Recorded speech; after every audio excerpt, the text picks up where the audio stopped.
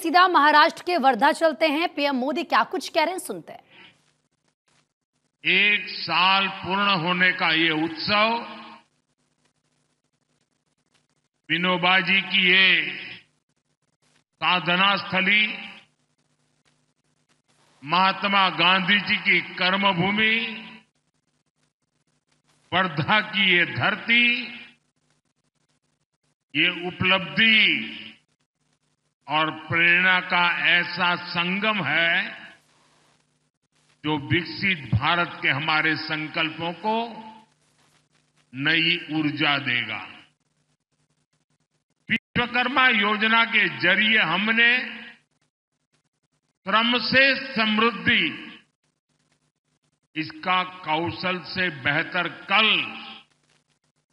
का जो संकल्प लिया है वर्धा में बापू की प्रेरणाएँ हमारे उन संकल्पों को सिद्धि तक ले जाने का माध्यम बनेगी।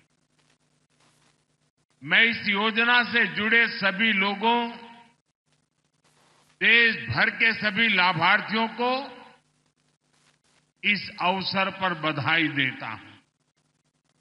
साथियों आज अमरावती में पीएम मित्र पार्क की आधारशिला भी रखी गई है।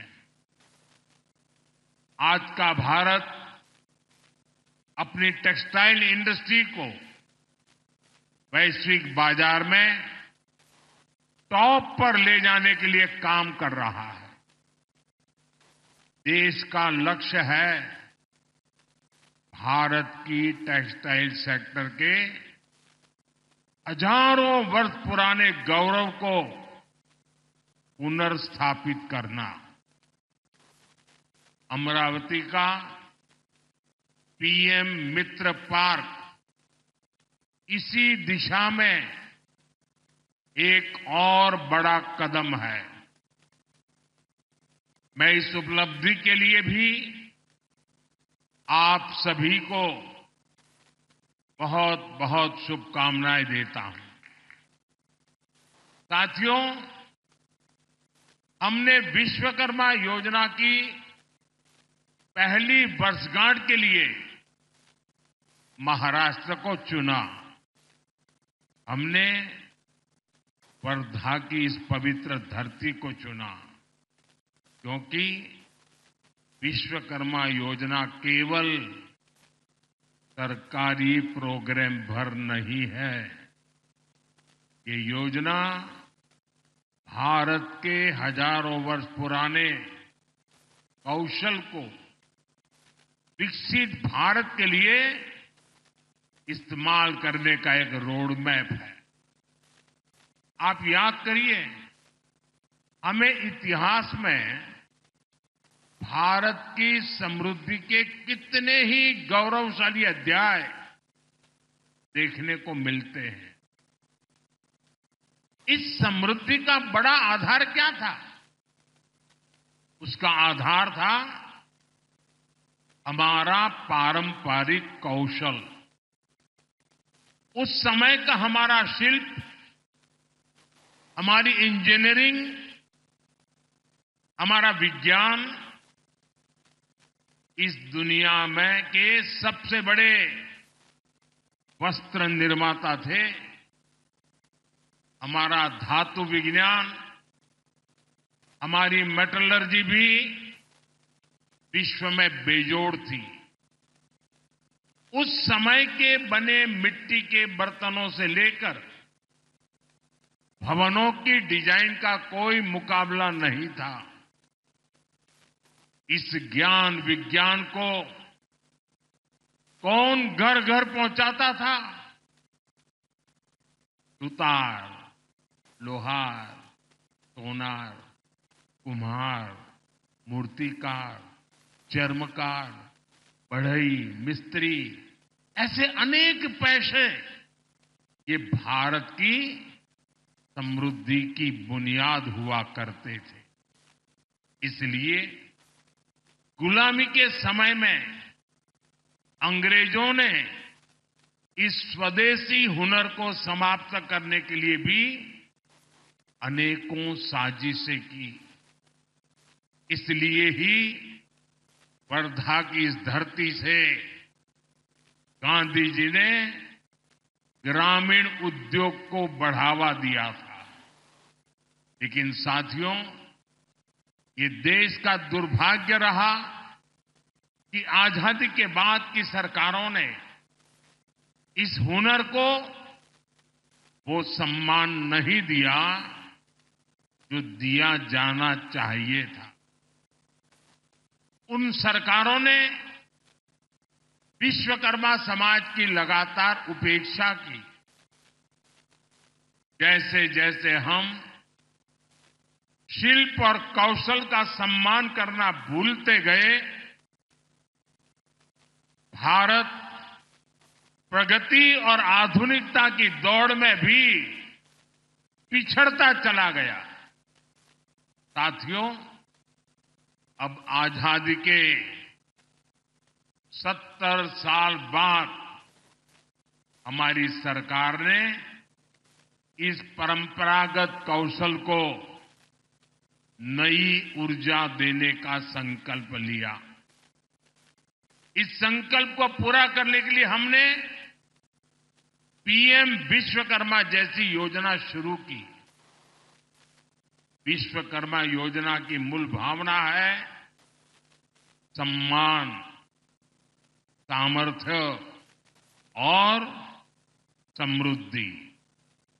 यानी पारंपरिक हुनर का सम्मान, कारीगरों का सशक्तिकरण और विश्वकर्मा बंधुओं के जीवन में समृद्धि, ये हमारा लक्ष्य है।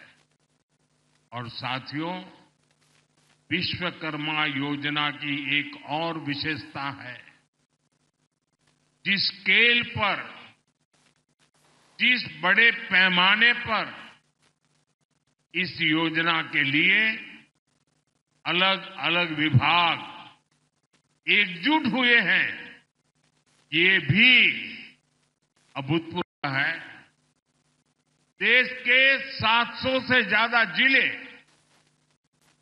देश की ढाई लाख से ज़्यादा ग्राम पंचायत, देश के पाँच हज़ार शहरी स्थानीय निकाय ये सब मिलकर इस अभियान को गति दे रहे हैं। इस एक वर्ष में ही 18 अलग अलग पैसों के 20 लाख से ज़्यादा लोगों को इससे जोड़ा गया। सिर्फ़ साल भर में ही 8 लाख से ज़्यादा शिल्पकारों और कारीगरों को स्किल ट्रेनिंग, स्किल अपग्रेडेशन मिल चुकी है। अकेले महाराष्ट्र में ही साठ हज़ार से ज़्यादा लोगों को ट्रेनिंग मिली है। इसमें कारीगरों को मॉडर्न मशीनरी और डिजिटल टूल्स जैसी नई टेक्नोलॉजी भी सिखाई जा रही है अब तक साढ़े छह लाख से ज़्यादा विश्वकर्मा बंधुओं को आधुनिक उपकरण भी उपलब्ध कराए गए हैं। इससे उनके उत्पादों की क्वालिटी बेहतर हुई है, उनकी उत्पादकता बढ़ी है। इतना ही नहीं, हर लाभार्थी को पंद्रह हज़ार रुपये का ई वाउचर दिया जा रहा है। अपने व्यवसाय को आगे बढ़ाने के लिए बिना गारंटी के तीन लाख रुपए तक लोन भी मिल रहा है। मुझे खुशी है एक साल के भीतर भीतर विश्वकर्मा भाई बहनों को 1400 करोड़ रुपए का लोन दिया गया है। यानी विश्वकर्मा योजना हर पहलू का ध्यान रख रही है। तभी तो ये इतनी सफल है, तभी तो ये लोकप्रिय हो रही है। और अभी मैं, हमारे चेतन राम मांझी जी प्रदर्शनी का वर्णन कर रहे थे मैं प्रदर्शनी देखने गया था। मैं देख रहा था कितना अद्भुत काम परंपरागत रूप से हमारे यहाँ लोग करते हैं। और जब उनको नए आधुनिक टेक्नोलॉजी टूल मिलते हैं, ट्रेनिंग मिलते हैं, उनको अपना कारोबार बढ़ाने के लिए सीड मनी मिलता है तो कितना बड़ा कमाल करते हैं, वो अभी मैं देख के आया हूँ। और यहाँ जो भी आप आए हैं ना मेरा आपसे भी आग्रह है कि आप ये प्रदर्शनी ज़रूर देखें। आपको इतना गर्व होगा कि कितनी बड़ी क्रांति आई है। साथियों हमारे पारंपरिक कौशल में सबसे ज़्यादा भागीदारी एससी, एसटी और ओबीसी समाज के लोगों की रही है। अगर पिछली सरकारों ने विश्वकर्मा बंधुओं की चिंता की होती? तो इस समाज की कितनी बड़ी सेवा होती? लेकिन कांग्रेस और उसके दोस्तों ने एससी, एसटी, ओबीसी को जान जानबूझ करके आगे नहीं बढ़ने दिया। हमने सरकारी सिस्टम से कांग्रेस की इस दलित पिछड़ा विरोधी सोच को खत्म किया है।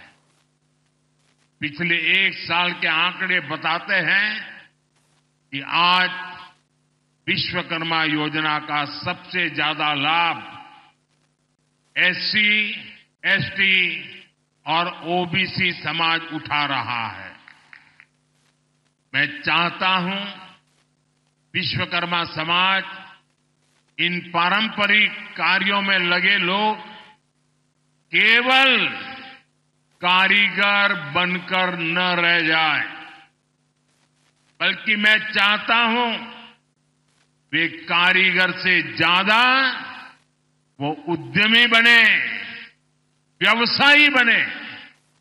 इसके लिए हमने विश्वकर्मा भाई बहनों के काम को एमएसएमई का दर्जा दिया है। वन डिस्ट्रिक्ट वन प्रोडक्ट और एकता मॉल जैसे प्रयासों के ज़रिए पारंपरिक उत्पादों की मार्केट, मार्केटिंग की जा रही है। हमारा लक्ष्य है कि ये लोग अपने बिज़नेस को आगे बढ़ाएँ। ये लोग बड़ी बड़ी कंपनियों की सप्लाई चेन का हिस्सा बने। इसलिए ओएनडीसी और जेम जीएम जैसे माध्यमों से शिल्पकारों, कारीगरों और छोटे कारोबारियों को अपना बिज़नेस बढ़ाने में मदद का रास्ता बन रहा है।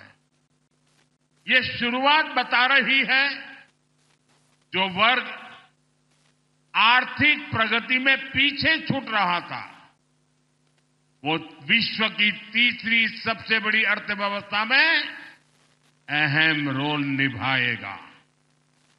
सरकार का जो स्किल इंडिया मिशन है, वो भी इसे सशक्त कर रहा है। कौशल विकास अभियान के तहत भी देश के करोड़ों नौजवानों की आज की जरूरतों के हिसाब से स्किल ट्रेनिंग हुई है। स्किल इंडिया जैसे अभियानों ने भारत की स्किल को पूरी दुनिया में पहचान दिलानी शुरू कर दी थी। और हमारे स्किल मंत्रालय हमारी सरकार बनने के बाद हमने अलग स्किल मंत्रालय बनाया। और हमारे जयंत चौधरी जी आज ये स्किल मंत्रालय का कारोबार देखते हैं। उनके नेतृत्व में इसी साल फ्रांस में वर्ल्ड स्किल्स पर बहुत बड़ा आयोजन हुआ। हम ओलंपिक की जो चर्चा बहुत करते हैं, लेकिन उस फ्रांस में अभी एक बहुत बड़ा आयोजन हुआ। इसमें स्किल को लेकर के हमारे छोटे छोटे काम करने वाले कारीगर और उन लोगों को भेजा गया था। और इसमें भारत ने बहुत सारे अवार्ड अपने नाम किए हैं। ये हम सबके लिए गर्व का विषय है। डबल इंजन सरकार की इच्छा शक्ति का पता चलता है। हम देश भर में ऐसे ही सेवन सात पीएम मित्र पार्क स्थापित कर रहे हैं। हमारा विजन है farm to fibre. Fibre to fabric. Fabric to fashion. Fashion to foreign. यानी विदर्भ के कपास से यही हाई क्वालिटी फैब्रिक बनेगा और यहीं पर फैब्रिक से फ़ैशन के मुताबिक कपड़े तैयार किए जाएँगे। ये फ़ैशन विदेशों तक एक्सपोर्ट होगा। इससे किसानों को खेती में होने वाला नुकसान बंद होगा। उन्हें उनकी फ़सल की अच्छी कीमत मिलेगी। उसमें वैल्यू एडिशन होगा। अकेले पीएम मित्र पार्क से ही यहाँ आठ से दस हज़ार करोड़ रुपए के निवेश की संभावना है। इससे विदर्भ और महाराष्ट्र में युवाओं के लिए रोज़गार के एक लाख से ज़्यादा नए अवसर बनेंगे। यहाँ दूसरे उद्योगों को भी बढ़ावा मिलेगा। नई सप्लाई चेन्स बनेगी। देश का निर्यात बढ़ेगा, आमदनी बढ़ेगी। और भाई और बहनों, इस औद्योगिक प्रगति के लिए जो आधुनिक इंफ्रास्ट्रक्चर और कनेक्टिविटी चाहिए, महाराष्ट्र उसके लिए भी तैयार हो रहा है। नए हाईवेज, एक्सप्रेसवेज, समृद्धि महामार्ग, वाटर और एयर कनेक्टिविटी का विस्तार, महाराष्ट्र नई औद्योगिक क्रांति के लिए कमर कस चुका है। साथियों, मैं मानता हूँ महाराष्ट्र की बहुआयामी प्रगति का अगर कोई पहला नायक है तो वो है यहाँ का किसान। जब महाराष्ट्र का विदर्भ का किसान खुशहाल होगा, तभी देश भी खुशहाल होगा। इसलिए हमारी डबल इंजन सरकार मिलकर किसानों की समृद्धि के लिए काम कर रही है। आप देखिए पीएम किसान सम्मान निधि के रूप में केंद्र सरकार छह हज़ार रुपये किसानों के लिए भेजती है। महाराष्ट्र सरकार उसमें छह हज़ार रूपया और मिलाती है। महाराष्ट्र के किसानों को अब बारह हज़ार रूपया सालाना मिल रहा है। फ़सलों के नुकसान की कीमत किसान को न चुकानी पड़े। इसके लिए हमने एक रुपये में फ़सल बीमा देना शुरू किया है। महाराष्ट्र की एक नाथ शिंदे जी की सरकार ने किसानों का बिजली बिल भी ज़ीरो कर दिया है। इस क्षेत्र में सिंचाई की समस्या के समाधान के लिए हमारी सरकार के समय से ही कई प्रयास शुरू हुए थे। लेकिन बीच में ऐसी सरकार आ गई जिसने सारे कामों पर ब्रेक लगा दिया। इस सरकार ने फिर से सिंचाई से जुड़े प्रोजेक्ट्स को गति दी है। इस क्षेत्र में करीब पचासी हज़ार करोड़ रुपए की लागत से पैनगंगा, नलगंगा नदियों को जोड़ने की परियोजना को हाल ही में मंजूरी दी गई है। इससे नागपुर, वर्धा, अमरावती, यवतमाल, अकोला बुल्डाना इन छह जिलों में 10 लाख एकड़ ज़मीन पर सिंचाई की सुविधा मिलेगी। साथियों, हमारे महाराष्ट्र के किसानों की जो मांगे थी, उन्हें भी हमारी सरकार पूरा कर रही है। प्याज पर एक्सपोर्ट टैक्स 40 प्रतिशत से घटाकर 20 प्रतिशत कर दिया गया है। खाद्य तेलों का जो आयात होता है, उस पर हमने 20 प्रतिशत टैक्स लगा दिया है। रिफाइंड सोयाबीन, सूर्यमुखी और पाम ऑयल पर कस्टम ड्यूटी को साढ़े बारह प्रतिशत से बढ़ाकर साढ़े बत्तीस प्रतिशत कर दिया है। इसका बहुत फ़ायदा हमारे सोयाबीन उगाने वाले किसानों को होगा। जल्द ही इन सब प्रयासों के परिणाम भी हमें देखने को मिलेंगे। लेकिन इसके लिए हमें एक सावधानी भी बरतनी होगी। जिस कांग्रेस पार्टी और उसके दोस्तों ने किसानों को इस हालत में पहुँचाया, बर्बाद किया, हमें उन्हें फिर मौका नहीं देना है।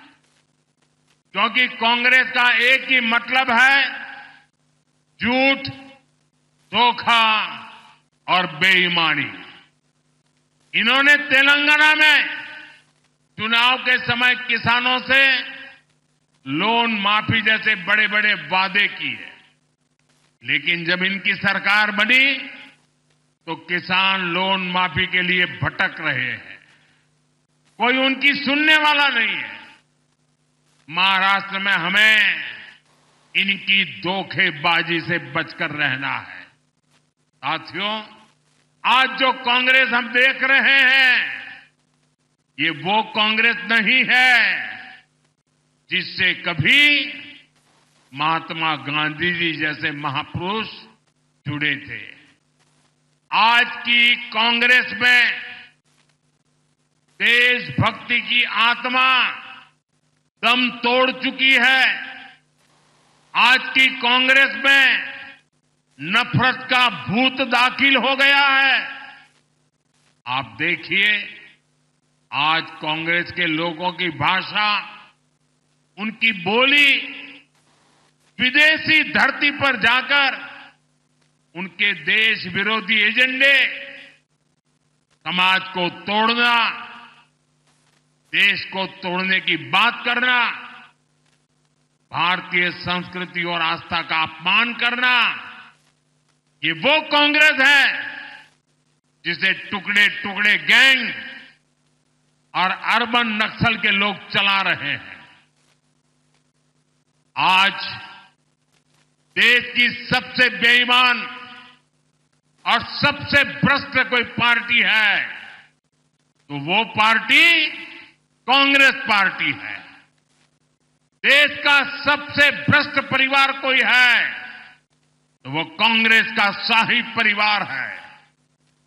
साथियों, जिस पार्टी में हमारी आस्था और संस्कृति का जरा सा भी सम्मान होगा, वो पार्टी कभी गणपति पूजा का विरोध नहीं कर सकती। लेकिन आज की कांग्रेस को गणपति पूजा से भी नफरत है। महाराष्ट्र की धरती गवाह है। आज़ादी की लड़ाई में, लोकमान्य तिलक के नेतृत्व में गणपति उत्सव भारत की एकता का उत्सव बन गया था। गणेश उत्सव में हर समाज, हर वर्ग के लोग एक साथ जुड़ते थे। इसलिए कांग्रेस पार्टी को गणपति पूजा से भी चीड़ है। मैं गणेश पूजन कार्यक्रम में चला गया तो कांग्रेस का तुष्टीकरण का भूत जाग उठा। कांग्रेस गणपति पूजा का विरोध करने लगी। तुष्टीकरण के लिए कांग्रेस कुछ भी कर रही है।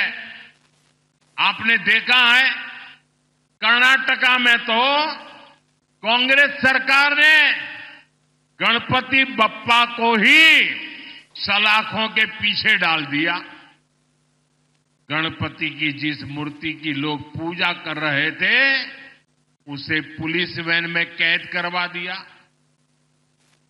महाराष्ट्र गणपतीची आराधना करीत होता। आणि कर्नाटकात गणपतीची मूर्ति पोलीस वैन मध्य होती। साथियों, पूरा देश गणपति के इस अपमान को देखकर आक्रोशित है। मैं हैरान हूँ। इस पर कांग्रेस के सहयोगियों के मुँह पर भी ताला लग गया है। उन पर भी कांग्रेस की संगत का ऐसा रंग चढ़ा है कि गणपति के अपमान का भी विरोध करने की उनमें हिम्मत नहीं बची है। भाई और बहनों, हमें एकजुट होकर कांग्रेस के इन पापों का जवाब देना है। हमें परंपरा और प्रगति के साथ खड़ा होना है। हमें सम्मान और विकास के एजेंडे के साथ खड़ा होना है। हम साथ मिलकर महाराष्ट्र की अस्मिता को बचाएँगे। हम सब साथ मिलकर महाराष्ट्र का गौरव और बढ़ाएँगे। हम महाराष्ट्र के सपनों को पूरा करेंगे। इसी भाव के साथ इतनी बड़ी तादाद में आकर के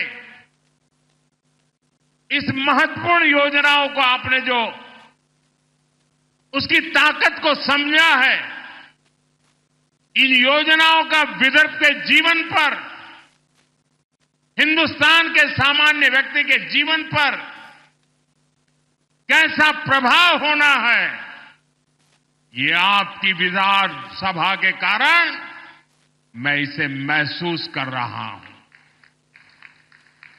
मैं एक बार फिर सभी विश्वकर्मा साथियों को विदर्भ के और महाराष्ट्र के सभी मेरे भाई बहनों को बहुत बहुत बधाई देता हूँ। मेरे साथ बोलिए भारत माता की। दोनों हाथ ऊपर करके पूरी ताकत से भारत माता की। भारत माता की। बहुत बहुत धन्यवाद। तो प्रधानमंत्री नरेंद्र मोदी को आपने सुना महाराष्ट्र के वर्धा में और साथ ही साथ कांग्रेस पर जमकर हमला प्रधानमंत्री ने बोला। ये कहा कि कांग्रेस पार्टी एजेंडा चलाती है। कांग्रेस को अर्बन नक्सल चला रहे हैं, कांग्रेस को टुकड़े टुकड़े गैंग चला रहे हैं। कांग्रेस पर जमकर हमला बोला, कांग्रेस तुष्टिकरण की राजनीति करती है और कर रही है। विदेश में कांग्रेस का देश विरोधी एजेंडा एक बार फिर से सबके सामने आ गया है। तो एक तरफ़ प्रधानमंत्री नरेंद्र मोदी ने पीएम विश्वकर्मा योजना के बारे में बताया कि कैसे जो विश्वकर्मा समाज है, उनको इस योजना से लाभ मिला है, लाभान्वित हुए हैं लोग। फ़ायदा हुआ है।